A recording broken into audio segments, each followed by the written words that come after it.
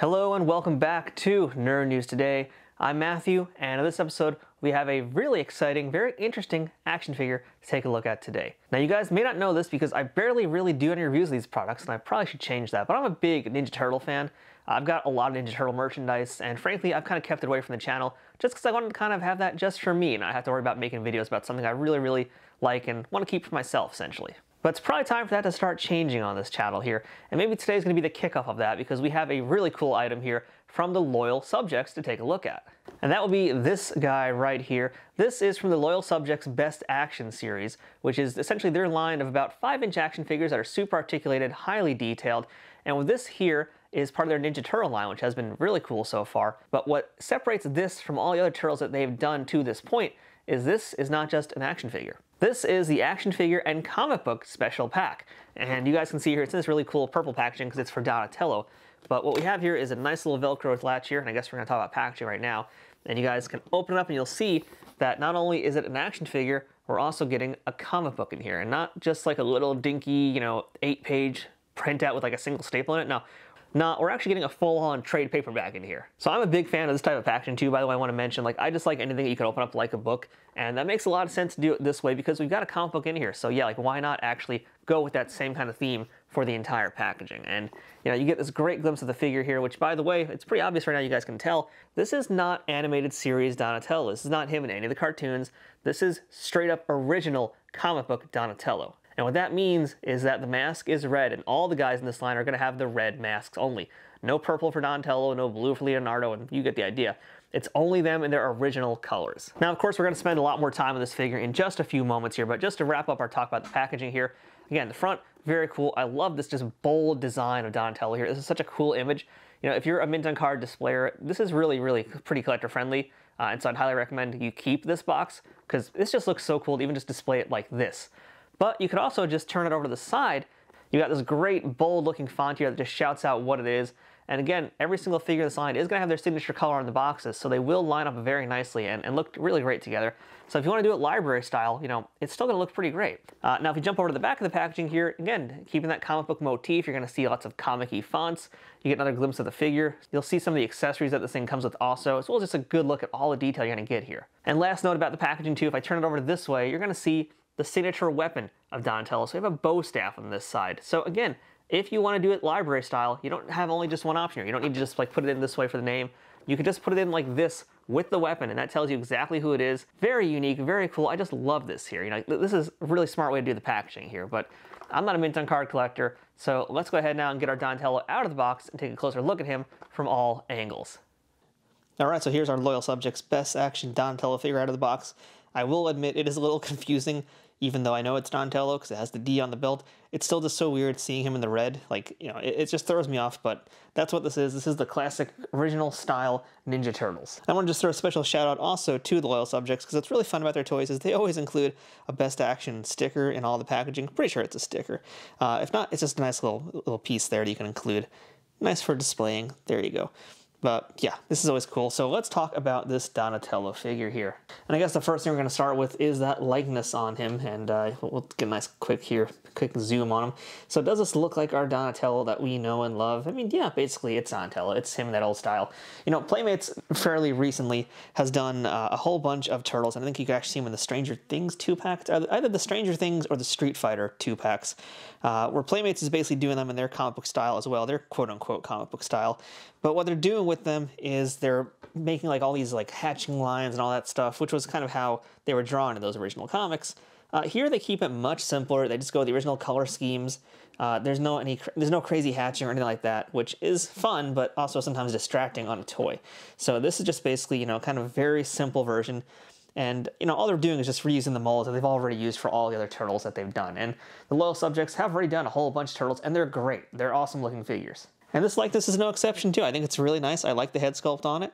I like the color choices. This looks good. I mean, quite honestly, if you've seen one turtle, you've kind of seen them all. And in the case of our Donatello here, I mean, I doubt there's too many different head sculpts for them. I, mean, I think the biggest difference is going to be the mouth expressions for all of them. They're all going to certainly have different mouth expressions. Maybe their eyebrows will be changed a little bit, but for the most part, it's a very simple turtle. It's got a clean execution, not really a ton I can comment about here. And likewise with the body, as we're gonna zoom out a little bit here, the body is also gonna be one that you're seeing reused in like all of the turtles that are gonna be in this line and for any future lines that they do.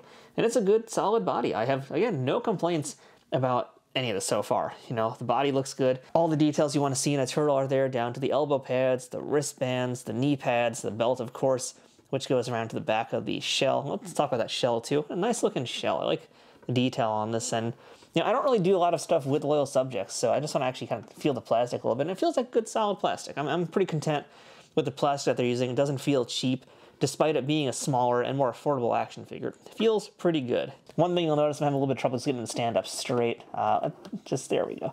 I do feel like I have to finagle him a little bit just because I'm not used to these loyal subjects action figures, but he is standing up straight and there's no base on him, so that's a pretty big positive also off the bat. So no complaints about the sculpt. Now let's talk about one of the biggest selling points of these Loyal Subjects action figures, and that's that these guys all have 31 points of articulation. That's a lot of articulation, and I think you can actually see pretty much all of it here on this figure, so there's really no lies here. So we'll just do a quick run through, in fact, and you get a ball-jointed head that can go up and down, left and right, and circle. You get a ball-jointed shoulder joint, which also has a butterfly joint. And what the butterfly joint is, you can see right there, is that's what's going to allow your characters to get their weapons closer to the bodies. Just put their arms closer to the bodies in general. Um, but that's that's actually like a great feature. I love it when the toys have that. Uh, we do have a bicep swivel here. You can see we have double jointed elbows, which again allows the arms to get in a lot of great posing. So this is going to be great for posing, great for figure photography. Uh, looks like the wrists can flex and rotate. Wonderful.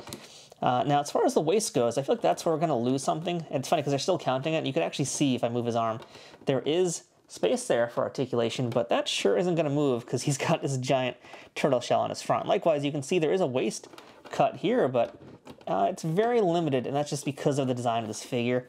So, you know, other best action figures, they move just fine. There's nothing in the way there. But the turtles, they're going to have a little problem moving their waists. Now, legs, that's an important one because these turtles got a kick, right? So well, that shouldn't have happened on camera, but that happens. Didn't break, it just popped out of the joint. But yeah, I'm doing that just to see how far I can go. And yeah, you can't really do front kicks. Uh, you're going to have a hard time getting some really cool kicks, unfortunately, with these guys, just because of how they're posed. You could try. Uh, it's not impossible, but it's not going to look ideal. But beyond that, you do get a thigh cut. You guys can see you also have, again, double joints on the elbows on, on the that's yes the the knee is the elbow of the leg that is actually very astute uh, we have a little bit of swivel on the ankle there, so you're getting some good articulation. You know, turtles are tricky, uh, admittedly, so I'm not gonna like you know really go too crazy about the articulation here. I think it's overall pretty solid. I'm not gonna complain a ton about what's there, what's hindered, because turtles got weird bodies, man. I mean, you can only do so much of one of these dudes.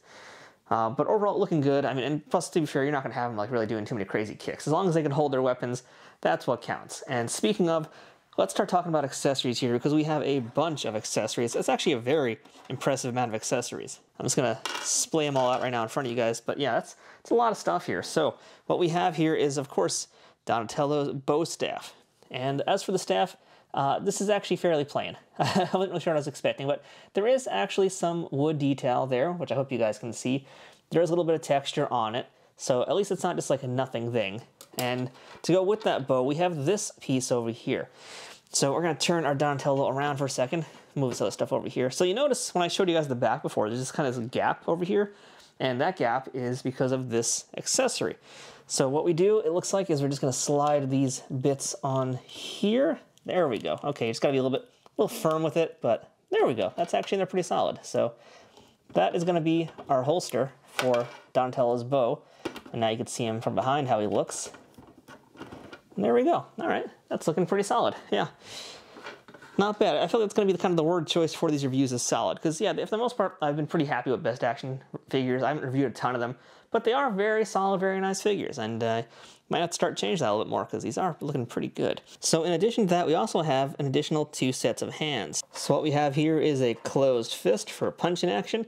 And over here we have slightly more open hands so you could hold onto all of your weapons. So let's just do some swapping now and see how they go. So we'll just go ahead and go yoink. And I'm going to actually just put both of the open hands in there so that he can hold his bow staff. But yeah, everything's coming out really nice and easy. And that's one thing I can say also about these figures is that they were not stiff out the box like we've seen other companies. They're pretty much flexible and moving. So yeah, you're really not hearing me even complain about any of that stuff, and that's a very, very big thing. These guys are moving nicely. Their joints are coming out very easily. Swapping parts has been a dream so far, actually. So, oh, okay, there's one downside. Well, let's go ahead and get this weapon in his hand. We'll talk more about that. So our Donatello has his bow staff in his hand, and it's good. He's holding it up. I mean, that's that's basically what you want. You want to make sure that your figures can hold all their accessories, and he's holding up his bow. That's fine. So the one thing I did notice, so as I was sliding that in, is that uh, one hand is holding it much tighter than the other, and this bow staff kind of just slid right out. So as you can see right now, he's holding it just fine, and uh, I think it, it, probably would just make a difference depending on how you position his arms. Like that might be what changes what he's able to do or how things slide out. But actually, as of now, it's looking like he's fine. So maybe it was an early overreaction to no problem. And there is one other accessory to talk about here, and uh, I think we'll swap out to one of his original hands, one of the more completely open palms. There we go. And again, super easy to put that in there. His final accessory is this slice of pizza.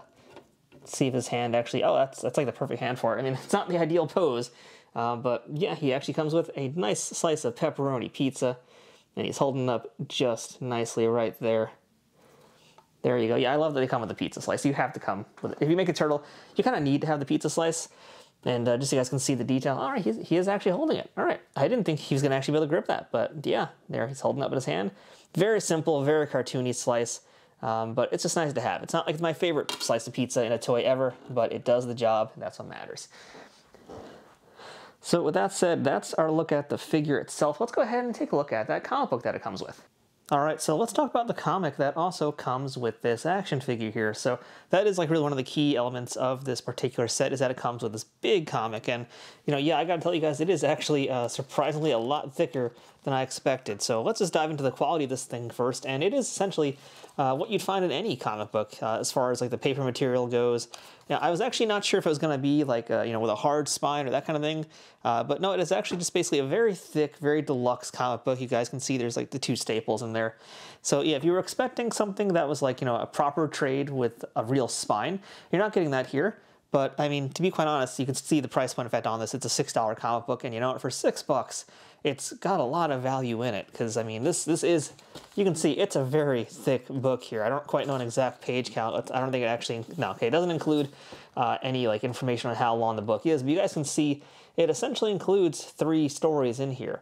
And uh, I would imagine that's three full-size comic stories. So we're probably looking at like a 64-page comic book here. And, and you guys can see, in fact, it has what's in and you guys can actually read, in fact, over here, what is going to be in this comic. So we have one of the micro series, which was by Kevin Eastman and Peter Laird. We've got one of the IDW, and that's from Mirage. And then we have an IDW Donatello micro series comic as well. And then finally we have, so you guys can see on the chapter here, so you guys can see a sort of makeshift table of contents here. It lets you know what stories you're getting. Uh, it doesn't really tell you too much beyond just, you know, these are all different micro series. And in the case of the final one here, part of the macro series. And, you know, I don't want to go through like what's in every single one of these just because, you know, I feel like that's a different video altogether. But I can say I have read actually most of these issues already, so I know the stories that they're highlighting here. They're really good stories.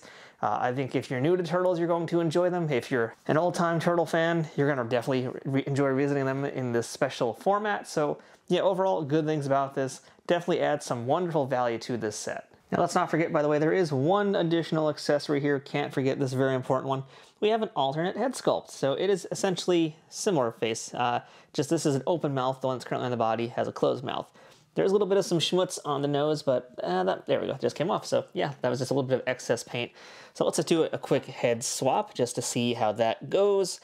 And uh, there, there we go. That was, okay, so there was the tight joint. We were waiting for one, but that wasn't horrible. All right, so yeah, overall, also want to make sure I point this out that, you know, while there was that little paint speck there, for the most part, um, the paint has been very clean. That's because they kept things very simple. Uh, and simple sometimes is the best way to do it. So yeah, this joint seems to be very, very tight. I am having a little bit of problems here. Uh, I will say user mileage may vary in the case of this turtle here. You might get one that fits on a lot looser. You might get one that fits on as tight as mine. It's not completely on right now, but at least you can see how it looks. And uh, I like this head a lot, actually. I do like the expression here. It's a really kind of cute turtle head. So, you know, that's fun. If you want to have him look a little bit less serious, that's the way to go. And just because I didn't mention it yet too, let's just go ahead and officially show the height of this figure here. And yeah, it's just about five, five and a half inches. So yeah, he's not gonna really scale up too well with too many other things besides what they have right here.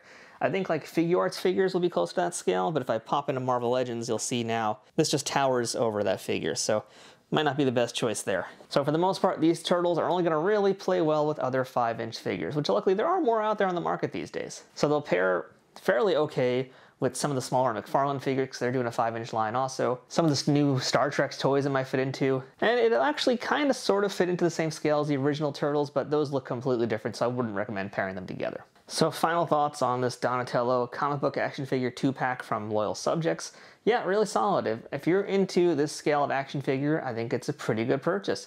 It's nice to have the comic book as well, because I enjoy that it's a full, not just a full-size comic, it's basically three full-size comics in one, which is, talk about value right there. Plus you get a really great figure. Now for me, I'd probably prefer to just get the normal cartoon versions that they have been releasing and all their different variations, but this is a cool change in tone, and really, if you get one, you kind of got to get all the others, don't you? So consider this one a gateway drug. But if you are a classic fan, you want those like real old school turtles, then this is the way you're going to have to go get it. And I think it's a fine way to get it. Because again, they're also really affordable. And there's so many turtles on the market right now between NECA, between Playmates, and the loyal subjects, and who knows what else is probably happening out there. But for, for my money, if you want to keep things a little bit better under your, your wallet, not kill your bank account, then these guys are a pretty good way to go. So I would say definitely put them on your radar and see if they fit with what you want to collect. Now, if you want to add this figure to your collection, go ahead and check out my Amazon affiliate link in the description below. If you use that link, it helps out this YouTube channel at no extra cost to you, so it's definitely worth giving a glimpse. So with all that said, I'm Matthew, this has been Nerd News Today. We will see you later, and until next time, Turtle Power. Although maybe in the case of this figure, it's Pizza Power.